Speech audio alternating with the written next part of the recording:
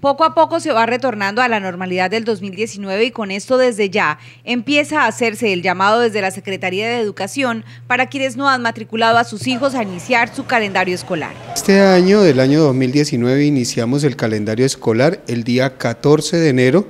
con la incorporación de los docentes a todas las instituciones educativas. Esta va a ser una semana de desarrollo institucional en la cual los docentes van a estar trabajando en la planeación de lo que es la vigencia del año 2019. El día 21 de enero ya ingresan los niños, los jóvenes y, los, eh, y todos los estudiantes entran al sistema.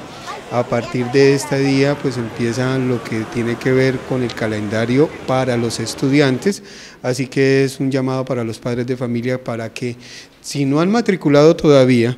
en las instituciones educativas oficiales entren a matricular para que inicien el año escolar sus hijos el día 21 de enero. Tenga en cuenta que pese a la amplia oferta institucional que sigue abierta en la ciudad, ya hay instituciones educativas con los cupos al límite para matrículas. Algunas instituciones ya están copadas, por ejemplo, el colegio La Normal, el CAS y el José Antonio Galán están cubiertas al 100% en la matrícula, así que nos quedan todavía las otras instituciones educativas de la ciudad para que matriculen a los muchachos. En estos momentos tenemos una oferta institucional de alrededor de 41.500 cupos y esperamos que ampliar un poquito más la cobertura para el siguiente año. Son cerca de 42 mil los cupos disponibles en Barranca Bermeja para que niños y adolescentes puedan estudiar, por lo que se espera que desde el 21 de enero los colegios en la ciudad estén a su capacidad de alumnos en acción.